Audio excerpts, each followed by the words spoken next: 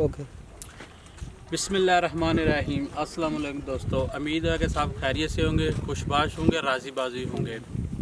इसी दुआ के साथ आज की वीडियो का करते हैं आगाज़। आज की वीडियो का आगाज़ करने से पहले मेरी सब दोस्तों से गुजारिश है कि मेरा चैनल देसी कल्चर को सब्सक्राइब करें और साथ में घंटी वाले बटन को ज़रूर दबाएँ ताकि मेरी आने वाली हर न्यू वीडियो का नोटिफिकेशन आपको मिल जाए। हमारे फतेहपुर के इलाके के साथ एक डेरा है जी फ्याज जागवाला। वहाँ पे है ना उन्होंने मछली फार्म बनाया हुआ है। तो आज हम आपको उस मछली फार्म की जो है वीडियो दिखा रहे हैं हम उनके पास आए हैं इनके पास इंफॉर्मेशन लेते हैं और आपको दिखाते हैं। मलक फ्याज साहब आए हैं जी हमारे पास। वालेकुम सलाम। फ्याज भाई कैसे हो ठीक हो? ज़बरदस्त। आप सुनाए। और साहिब साहब ठीक ठाक है जी। अच्छा ये मुझे बताएँ ये आइडिया आपके दिमाग में किस तरह आया ये वाला?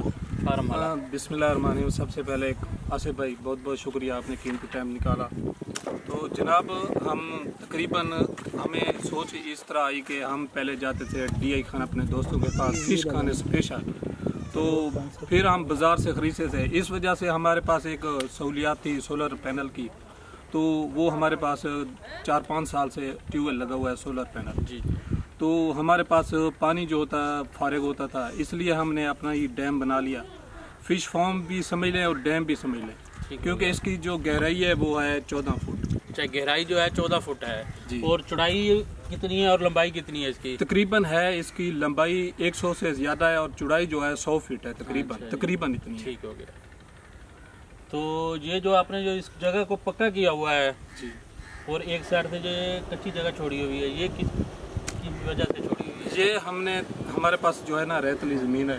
इस वजह से हमने तीन साइडों से पक्का किया है ताकि पानी जजम ना हो। और नीचे जो है उसमें हमने शापर डाला है। और एक साइड हमने कच्ची रखी है क्योंकि अगर हमारा शौक बढ़ता है तो हम फार्म को बढ़ा दें अच्छा फार्म को बड़ा कर लेंगे जी ठीक हो गया। इसके अंदर कितनी आपने फ़िश डाली हुई है? हमारे पास फ़िलहाल तो हमने न्यू न्यू बनाया है इसमें तकरीबन साढ़े पाँच सौ। साढ़े पाँच सौ फ़िश है। कितना अरसा हो गया डाले हुए? तकरीबन है हो गए हैं चार माह चार माह हो गए हैं। तो अब फ़िश जो है वो एक फ़िश का कितना वज़न हो गया होगा? तकरीबन आधा किलो से बढ़ गया होगा। आधा किलो से बढ़ गया होगा।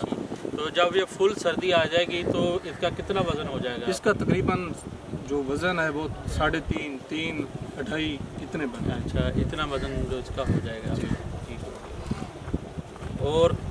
और ये हमने जो दूसरा आपको मैं बताना भूल गया कि हमने जो फ़िश डाली है डमरा किस्म की। अच्छा डमरा किस्म की डमरा किस्म की डमरा ठीक हो गया अच्छा ये अपने खाने के लिए बनाई है या सेल वगैरह करने के नहीं लिए? ये हमने अपने खाने के लिए बनाई है और दोस्त अहबाब जो आता है उसको खिलाने के लिए।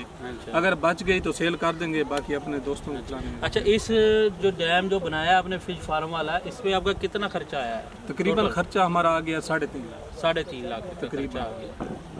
ठीक हो गया। ड- ਨਾਲੇ ਤਾਂ ਕੋਈ ਨਿਕਾਸੀ ਦਾ ਕਲਿੱਪ ਹੀ ਬੜੇ ਨੇ ਜੋ ਤੇ ਜਿਹੜਾ ਨਿਕਾਸੀ ਵਾਲਾ ਪੈਪ ਹੈ।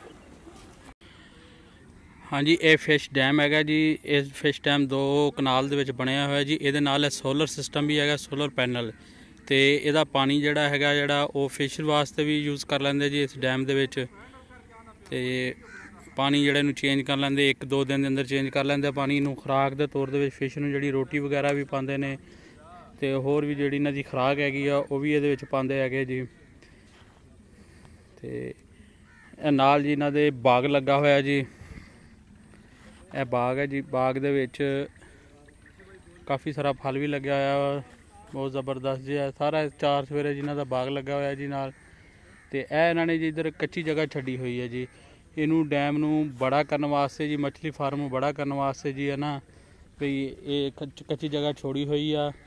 ਵੀ ਹੋਰ ਬੜਾ ਕਰਨਾ ਹੋਵੇ ਤਾਂ ਫਿਰ ਬੜਾ ਵੀ ਕਰ ਸਕਦੇ। ਲੇਕਿਨ ਫਿਲਹਾਲ ਇਹਨਾਂ ਨੇ ਜੀ ਆਪਣੇ ਖਾਣ ਵਾਸਤੇ ਇਸ ਫਾਰਮ ਨੂੰ, ਛੋਟੇ ਫਾਰਮ ਬਣਾਏ। ਇਹਨਾਂ ਦੇ ਉੱਤੇ ਇਹਨਾਂ ਦਾ ਖਰਚਾ ਜਿਹੜਾ ਆਇਆ ਜੀ 3 ਲੱਖ ਰੁਪਏ ਤਕਰੀਬਨ, ਕਿ 3.5 ਲੱਖ ਰੁਪਏ ਇਹਨਾਂ ਦਾ ਖਰਚਾ ਆਇਆ ਤੇ 550 ਫਿਸ਼ ਇਹਨਾਂ ਨੇ ਪਾਈ ਹੋਈ ਹੈ ਜੀ ਇਹਦੇ ਵਿੱਚ।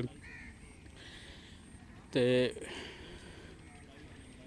ਤੇ ਨਾਲ ਜੀ ਸੋਲਰ ਪਲੇਟ ਵਾਲਾ ਜਿਹੜਾ ਹੈਗਾ ਵਾ, ਇਹ ਵੀ ਲੱਗਾ ਹੋਇਆ ਟੂਵਲ। ਇਹਦੇ ਨਾਲ ਇਹ ਆਪਣੇ ਬਾਗ ਨੂੰ, ਰਕਬੇ ਨੂੰ ਪਾਣੀ ਵੀ ਲਗਾਉਂਦੇ ਨੇ ਔਰ ਇਸ ਪਾਣੀ ਨੂੰ ਜਿਹੜਾ ਹੈਗਾ ਇਸ ਡੈਮ ਦੇ ਅੰਦਰ ਵੀ ਯੂਜ਼ ਕਰਦੇ ਨੇ। ਇਸ ਡੈਮ ਦੇ ਵਿੱਚੋਂ ਜਿਹੜਾ ਪਾਣੀ ਜਿਹੜਾ ਹੈਗਾ ਨਿਕਾਲ ਕੇ ਦੁਬਾਰਾ ਉਹ ਬਾਗ ਵਗੈਰਾ ਨੂੰ ਜਾਂ ਰਕਬੇ ਵਗੈਰਾ ਨੂੰ ਵੀ ਲਗਾ ਲੈਂਦੇ ਨੇ ਜੀ।